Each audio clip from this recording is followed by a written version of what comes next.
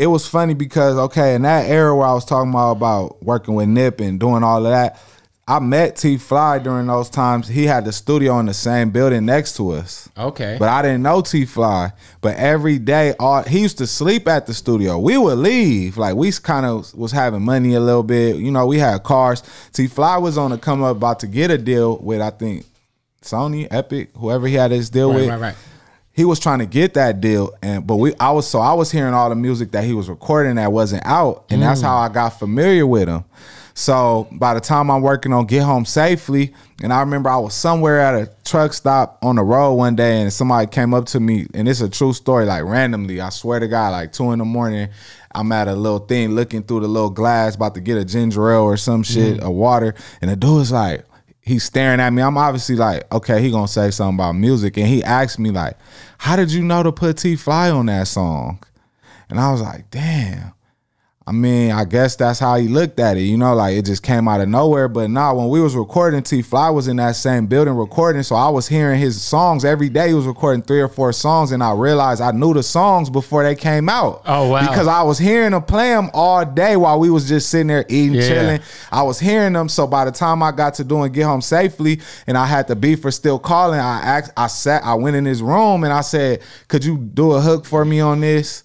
And then I'll do the verse. You know what I'm saying? And I sat there with him and he was like, Cool. And that's really how our collaborations really started working.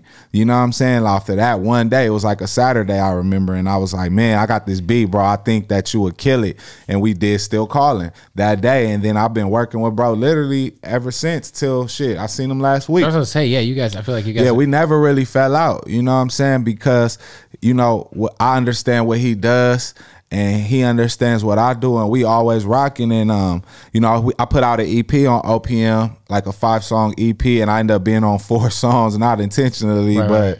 just being on songs. But yeah, me and TeeFlii working on some a collaboration for the people. Man, I'm glad you Oh, asked. nice. So you guys are gonna put up, like, an yeah EP on or- OPM. We gonna put out an album. oh shit. Yeah. That's together. Yeah, we already working on it. I was working on it before. That's a bootleg Kev exclusive. So a TeeFlii Dom project Yeah. on the way. Yeah, I mean, On I feel like you guys have such a, whole crazy chemistry. Yeah, we're gonna do a whole album. We already we already more than halfway in. I kind of put it on pause to finish the West Side Three, but that's how I got that intermission, and it was kind of like a warm up to introduce and to keep the vibes going for the album. People will hear it, but we got a great, you know, we gonna put out a great body of work 2022. How many records you guys have done? Right now, shit, maybe 12, but only like Sounds like an album. Yeah, but yeah, probably really like three or four that I really want to keep. We got a lot of work to do, but we gonna put it out though. It's already on the books for sure. Fire. Yeah, it's already on the books. It's something we've been working on.